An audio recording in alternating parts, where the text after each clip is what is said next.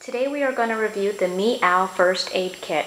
It is a comprehensive first aid kit for your pet in the event of any type of emergency. As you can see, this is everything that is included in the Meow First Aid Kit. It all comes included and wrapped up in this nice canvas bag here, as you can see. Actually very much similar to a doctor's bag, where it has the frame that can clamp and zip close, but that uh, when you open it will stay open right there.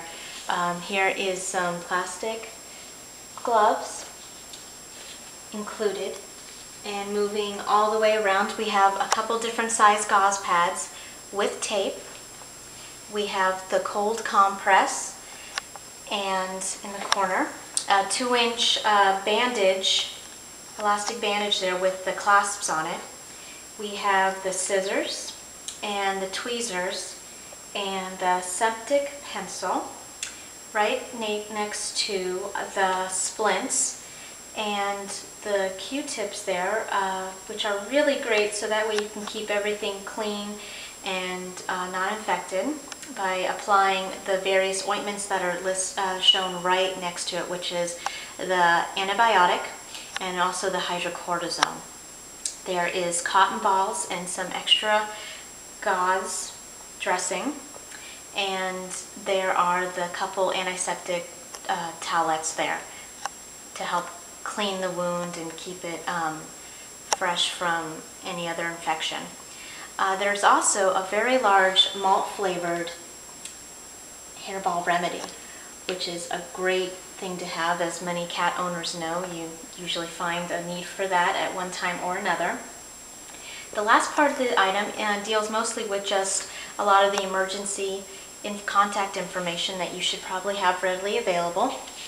This is a great sticker that you can place uh, next to your phone on your fridge. Uh, it will uh, give you the opportunity to list your veterinarian, your local emergency vet, uh, any special medical or allergies that you want to have of note. And this is really helpful in the event that you have a babysitter, a house sitter, anyone that's a little unfamiliar um, with who your doctors are and that way it's a quick go-to in the event of an emergency or anything comes up that they'll need to reference this. The other item is a door placard that uh, basically lists your animals and how many you have and so that way in the event of an emergency such as a fire the emergency response crew will know to look for your pets and to rescue them. The last, uh, the last two items are actually the most unique and critical to this kitten which makes it really unique. This is a 60 page uh, first aid booklet and it is a really great reference tool. It is not only step-by-step -step procedures that are listed, but it's also illustrated as well from the basic items such as checking a pulse and a heart rate to getting more involved into actual um, how you restrain an animal um, to check their breathing rate as well as emergencies, uh, collapse, blood sugar, um, injury, choking, anything that you can think of is in here.